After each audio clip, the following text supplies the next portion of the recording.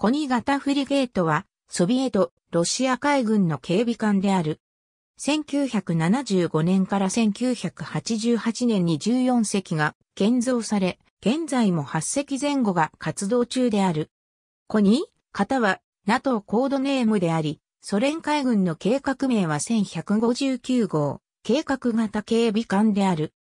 コニ型フリゲートは、ペチャ型フリゲートを元にして、グリシャ2型コルベットの設計を加え、1950年代に同盟諸国に供与したリガ型フリゲートの更新用に開発された輸出用警備艦である。だが実際にリガ型に続いてコニ型を運用したのはブルガリアと東ドイツ海軍の4隻のみである。また一番艦ファイは最初ソ連海軍の国海艦隊で運用されたが同盟諸国乗務員の訓練用だったようで役目の終わった1991年には、ブルガリア海軍に売却されと改名された。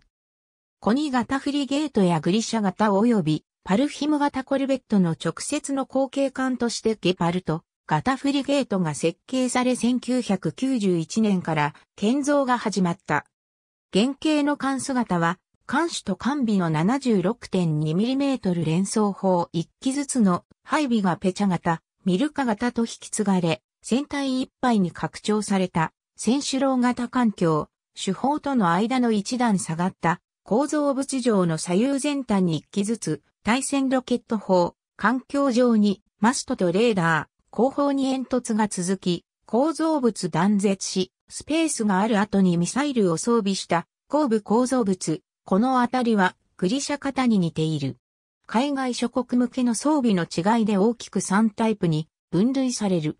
1159 6隻、ソ連ブリガリア東ドイツユーゴスラビア海軍の艦霊地向け、特にユーゴスラビア海軍向けの艦は P-15 が装備されて外観が変わっている。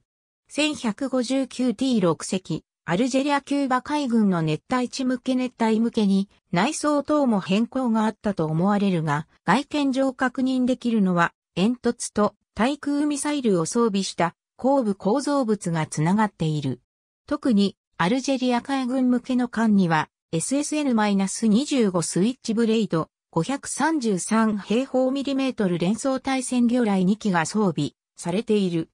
1159TP2 隻、リビア海軍向け対艦ミサイル装備 1159T 型のリビア海軍向けとして、環境の前と艦首砲塔の間の対戦ロケット砲12連装、マイナス6000を左右両端に2機装備している箱型構造物を削り、左右に SSN-2C スティクスの連装タイプを2機装備しその間の真ん中に対戦ロケット砲12連装マイナス6000を1機装備に改造され、対戦魚雷発射管が煙突と対空ミサイルを装備した後部構造物のつながっている両脇に装備されたが、詳しくは画像確認。